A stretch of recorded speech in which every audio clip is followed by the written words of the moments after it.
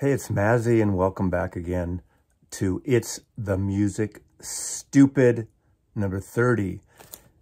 The whole premise of this, if you're new, is it's about the music. All these records, whatever pressing, whatever the mastering it is, whatever the version it is, it's about the songs, the recording, the music, and that's what uh, most of us love first. That's what we gravitate first. Obviously, the songs and the sound we hear. Now, uh, if you decide to upgrade or compare, that's a whole other issue, and that's that's all fine and dandy. But uh, uh, I, I want to pull from my collection and showcase records that mean a lot to me. But then again, this first one, uh, some are actually very new to me, and this kind of sparked uh, the direction of this particular uh, It's the Music Stupid number 30. And I want to open up with a record that I missed three years ago. And I'm, I'm, a, I'm always been a fan of melody, of vocal arrangements, of really interesting, sometimes complicated esoteric ar arrangements. Now, that's obviously subjective. I like when artists take chances and do something really interesting. And, and sometimes you have to invest invest yourself into listening. I mean, go back to something like Strawberry Fields Forever. Of course, there's the Beatles connection here. And how different that single, that song sounded when it came out. Like nothing else in the day. Now it's easy to look back on, you know, 50 plus years later, 56 years later, and realize that it's just another Beatles song, but it's not really. But there's there there's a with studio production, with vocals, with uh, tempo changes and things, and but I've always been a fan of really great voices, and there's a couple of records today that I that relate to each other, uh, either thematically or actually by blood in one case.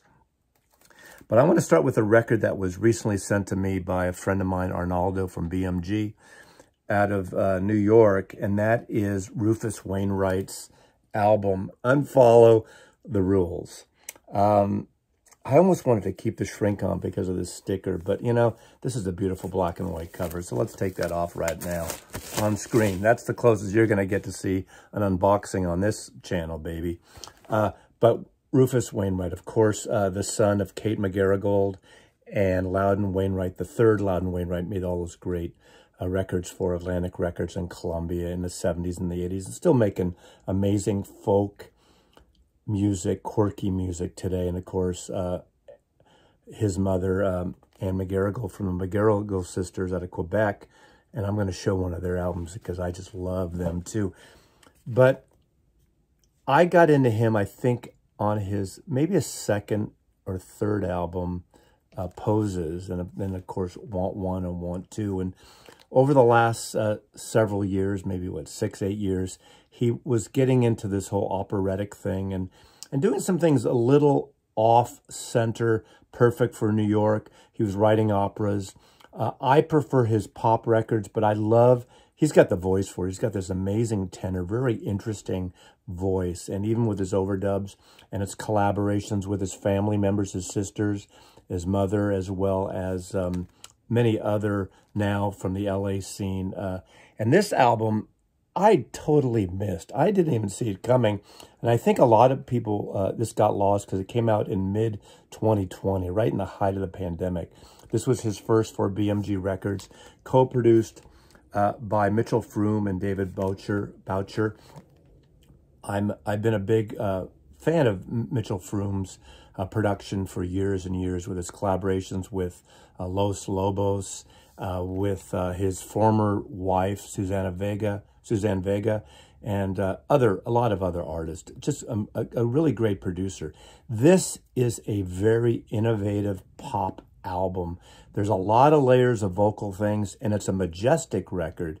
I think uh, the vocals are amazing, and it's a record you have to really uh, take your time with. Uh, very catchy, but a lot of uh, amazing production, orchestration, uh, strings, and uh, again, vocal arrangements and other singers on it. But what a beautiful record this is. There we go.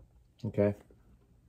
Uh, it is on a uh, double LP, but it's three sides with an etching on side four. I, I, it, and it's hard to explain. The opening track here, Trouble in Paradise, is literally a magnificent epic of an opening. I mean, as I said, he's very into and he is very attracted and has written operas, classical operas. And so there is an operatic uh, layer to this pop music. This is a pop record. This is a pop music record. And this is, this, what reminded me most of the artist I was thinking about when I heard this, not that it sounds really anything like him, but on a one or two tracks, it reminded me of late 60s Harry Nilsson, who I'm a big fan with. And Harry Nilsson is another artist who really used the studio to really um, use his uh, vocal range, the overdubs of his vocals. Now, Rufus isn't doing these like two, three, four, five tracks of his vocals like Harry Nilsson uh, was doing around that time. But it reminded me of that type of, of genre. And it's a very unique genre. It's almost, you know, it's not as commercial as to me it should be. I think that this is a niche uh, genre. It's pop music, but it's not current pop music, so it's that catchy. Although I think it's very accessible, and there's a lot of hooks within these great productions. And I did show recently his newest album, which I'm going to just remind you of because to me, this is one of the best albums of 2023. And this is Folkocracy, Rufus Wainwright. And this is, uh, again, Rufus, his family and friends, uh, David Byrne, uh, Martha Wainwright, um, uh, Chaka Khan, and others doing these amazing classic folk songs. Some you know, some you don't know.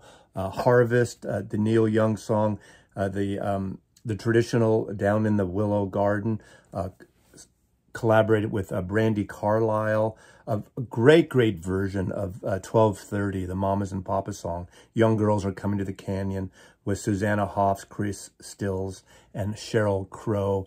And it's just a great version. Um, the, the I think the one original is one of my favorites, Going to a Town featuring Ahoni. Ahoni? I don't even know how to pronounce their name. That used to be formerly um, Antony Antony and the Johnsons. I just got uh, their new album. I have not heard it yet, but that voice is a chilling voice. And that's a, a, a song on here that's going to be controversial in some ways because of the, the subject matter. On the surface, there's people that don't get it and just say, oh, if you don't like what's going on here, get out of here. You know, uh, obviously the uh, Canadian roots in this family. And uh, it's just a wonderful record. He does um, Black Gold with uh, Van Dyke Parks and just some other really wonderful, wonderful songs. Harvest is with Andrew Bird and Chris Stills again. And uh, it's just, it, and, and it's just a, a beautiful album. And the, the vocal harmonies and the arrangements are pure, beautiful pop music, but another level of it. It's not as simple as you think, but the melodies are so wonderful as on this album. And this is my favorite new album. I've only heard it three times so far, and I love it already. And it was sent to me about, you know, two, three weeks ago. And I kind of put it aside because I've been busy. Once I got it on, I just, I went back and got, I listened to my Harry Nilsson records. I went back and listened to other Rufus Wainwright records. And, you know, I think he's someone that people really ought to dive into who, who, who liked, again, the description I, of course, you, it's your choice, and everyone's got different tastes. The direction of this particular It's the Music Stu Stupid video came to me because of the uh, impending release on Vinyl Me Please of uh, this album, Harry Nilsson's Aerial Ballet. And I read a comment on one of the forums Someone just said, I try to get into Harry Nilsson. I just don't get it.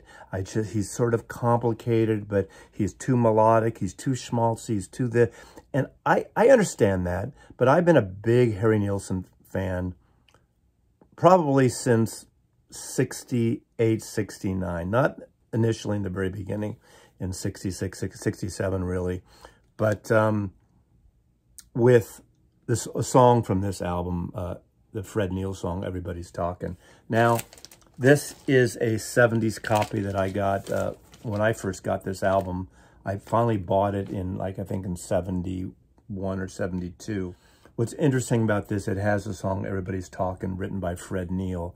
And the irony there is Harry Nilsson was commissioned to write the song, the title song for Midnight Cowboy. And he wrote a song uh, Boy in New York City, or I, I, I'm mispronouncing the name or quoting the title of that song. And then he had recorded this song, and of course, uh, John Schlesinger, who directed Midnight Cowboy, ended up sticking his song at the tail end and at the very beginning of Midnight Cowboy used Everybody's Talking. So his first big number one hit was a, a, a, cover song.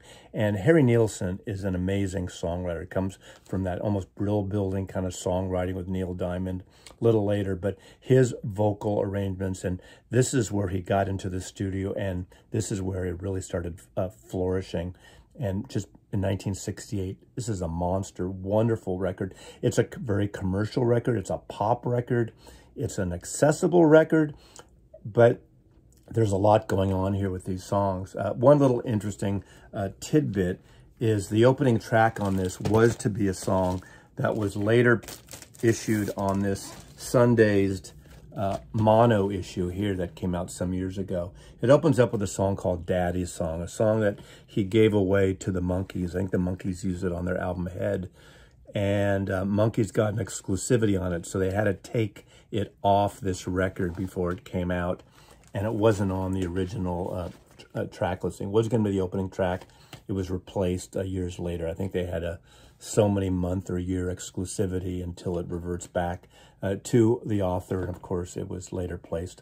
My guess is on the CD as well uh, on this record. Um, it also has an amazing, uh, it's a really beautiful song. And I really prefer this arrangement than the huge cover hit of One. Three Dog Night uh, had a cover of One. Massive hit for Three Dog Night. But I love the organ intro on Harry Nilsson's version on this. Uh, that's on here as well. Uh, Together is a great song.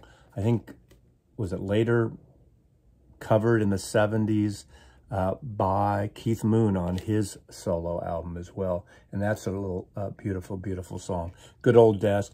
There is a, a childlike children's atmosphere to some of Harry Nilsson's music, almost like, well, we know the point years later, uh, those great songs, Me and My Arrow. Um, just a wonderful artist. Uh, is this his best album? Of course, his big hits were the Richard Perry hits, uh, Nilsson Schmilsson, uh, a Touch of Schmilsson, which is actually the is the oldies uh, standards album, and uh, uh, and Nilsson, what Son of Schmilsson, there we go.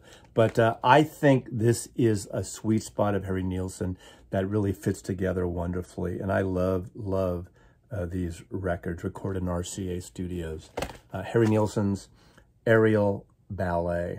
I talked about the family of Rufus, and I really wanted to show this album. Um, First, let me, this is McGarrigle Sisters out of Quebec, originally from Quebec. Uh, this is their debut album. I got this as a promo. This is my original promo copy in 76, I believe. Uh, this came out in 75, excuse me. Uh, produced by Joe Boyd. Joey Boyd is one of my favorite producers. I've featured his work or I've discussed him quite a bit.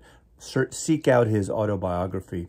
He produced the Nick Drake Records. He produced the first single by Pink Floyd. He's an American expatriate, moves to uh, England, brings a lot of blues artists there to perform live, and he produces that first uh, single by Pink Floyd. Of course, they get signed to EMI, and then the in-house producers have to produce them, so he doesn't get to produce the Pink Floyd's album.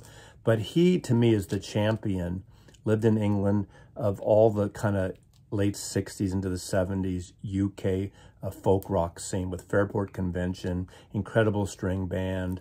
Uh, he produced later in the 70s Maria Muldaur. He was a roommate in near Harvard at, with uh, Geoff Muldaur and his girlfriend at the time, Maria D'Amato, who became Maria Muldaur. But he, long story, Mazzy, but he produced this album. This is their debut album, the McGarrigle Sisters. Uh, but this is the one that hit a sweet spot for me. It's more complicated than the first. Folk act.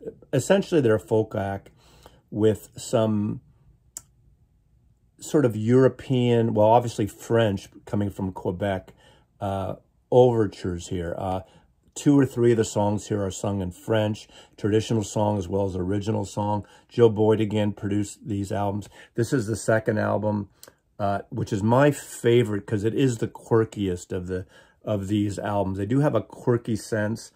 Dancer with Bruised Knees. And again, they're folk, they're, um, you know, you almost could bring on a little Edith Piaf. If you were bringing Edith Piaf into 1970s folk world of, um, you know, of record making, uh, I believe John Cale's on a couple of tracks on here playing organ. Uh, just really great musicians, solid musicians, a beautifully recorded record with an international feel to it from American point of view. Some people don't like when you say world music or international. You know, we're all international, but it has this kind of, uh, you know, French-Canadian feel uh, to folk music and pop music.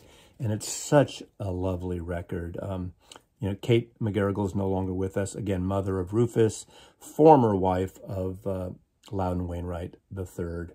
Uh, just love this record. 1977, uh, this record came out.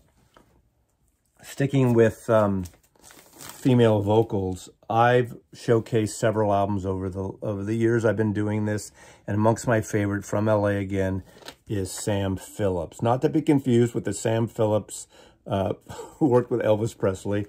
Uh, she started out as a Christian singer, Christian made Christian records, and then she got married uh, to T-Bone Burnett. For years and years, she was married to T-Bone. Her, uh, her debut album is such a wonderful record uh, on Virgin Records. I love uh, Incredible Wow. A very pop psychedelic, uh, pop psychedelic, a very Beatle-esque influence in a modern pop way. I think that came out in the 90s, I believe, that record. And uh, T-Bone Burnett recorded subsequently a lot of records. Martinis and Bikinis might be my favorite of hers, but she switches to Nonesuch. Uh, this came out in 2001, so this is already 22 years ago.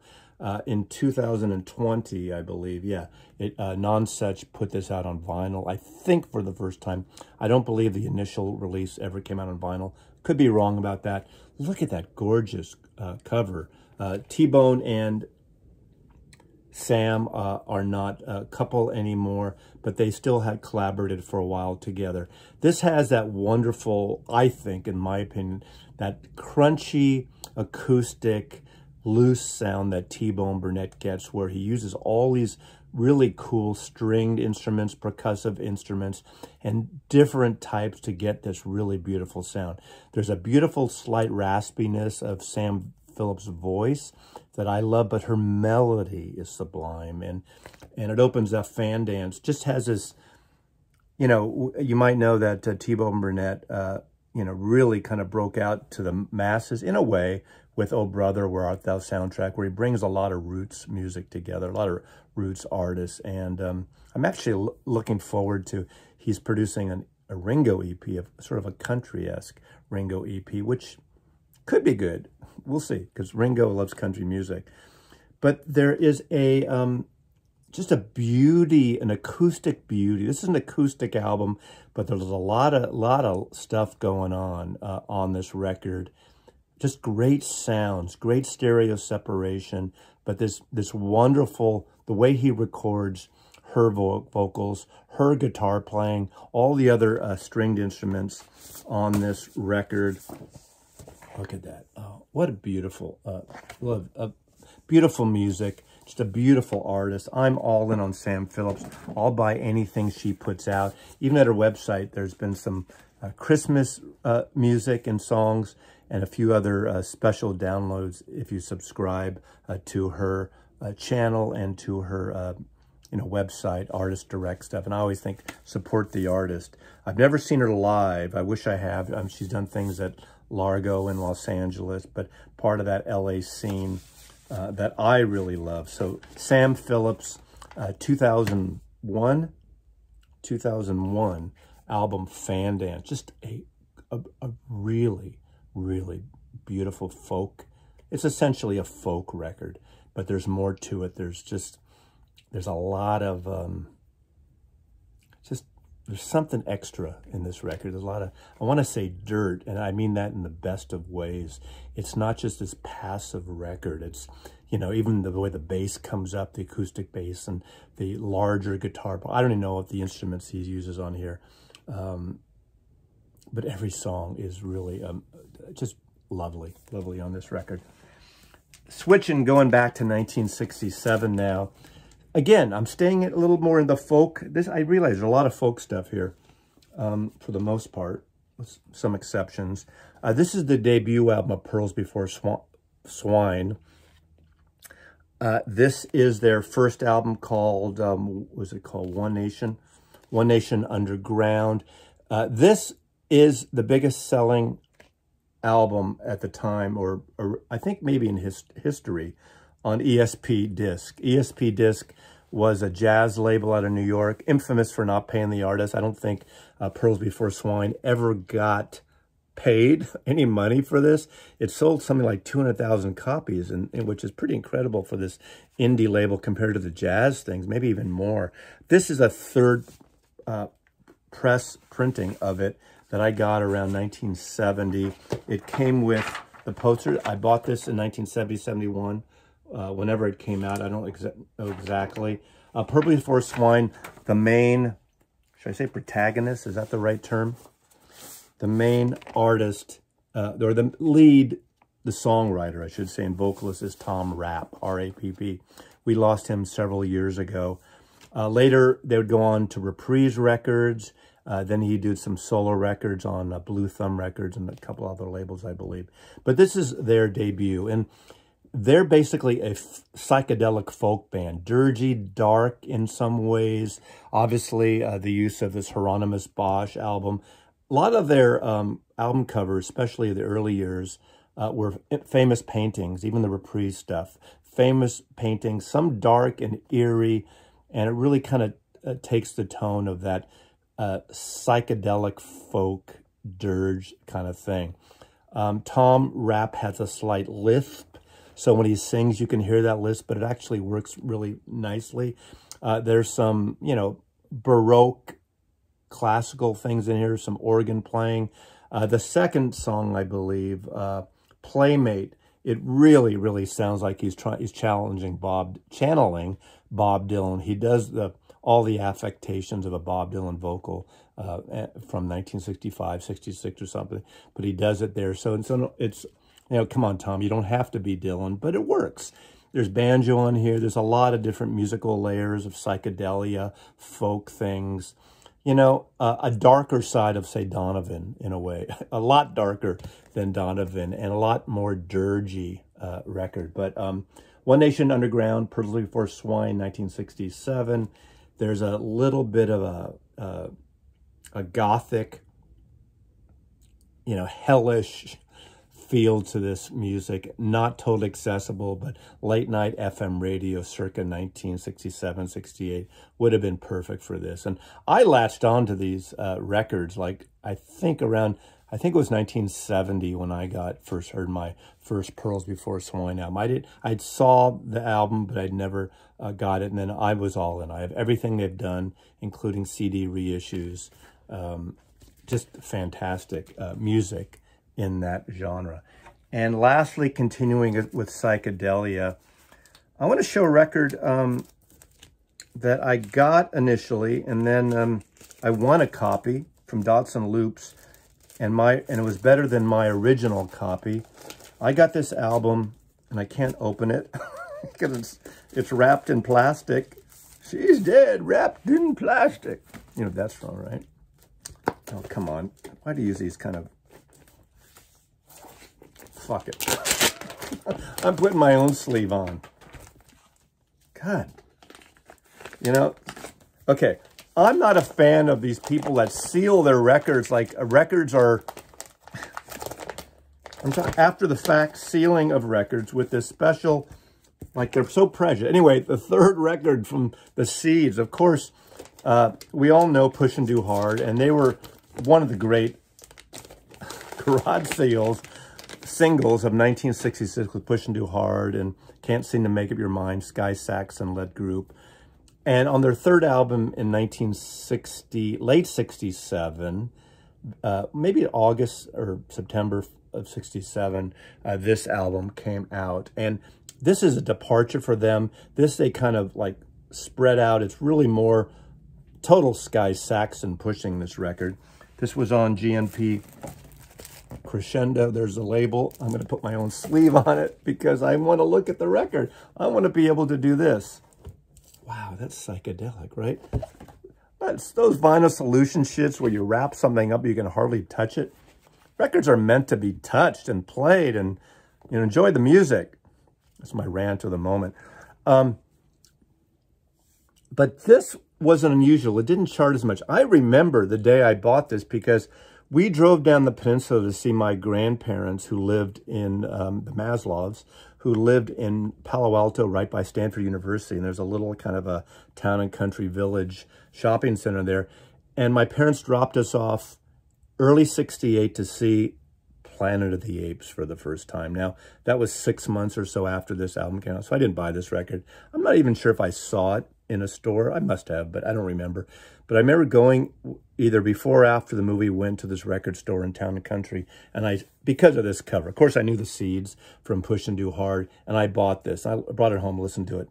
Wow, it was really out there compared to that, you know, short two-minute, three-minute garage rock song.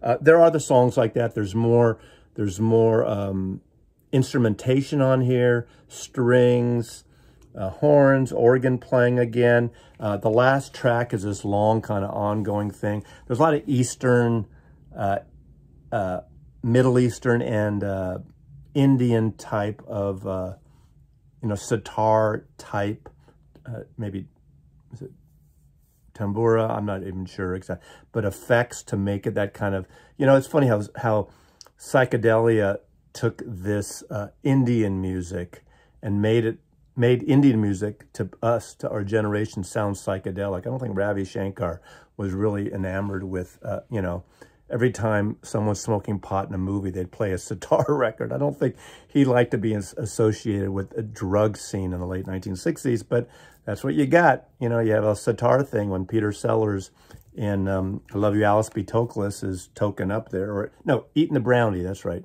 Eating the Brownies. Um, Sky Saxon does some, you know, there's some, there are some great garage type songs on here, shorter songs, uh, Travel With Your Mind, Out of the Question, Painted Doll. But the final song, he goes into this thing, Fallen, for 7 minutes 40. It's just an ongoing thing with some, you know, psychedelic, again, Eastern uh, flourishes and his just ongoing, you know, no real break, no real um, chorus, or middle eight or anything. Goes on and on and on. Uh, this record is a is a grower. I just love this cover. When I saw this in early 19, was it February, March 1968, when I bought the version of this. And my this is one of my records that got kind of damaged over the years. Very few of mine did. And again, uh, Dan Dobson Loops, I won this in a contest uh, recently, which is really wonderful because I adore this record, but it's one of those records. I mean, it's a great psychedelic of its time. Not their best record, um, but a really interesting record. So that's It's the Music Stupid. This is a long one. This is the longest one, maybe. But whatever. Enjoy the music. Thanks for watching, and uh, I'll see you next time. Mazzy loves you. Take care.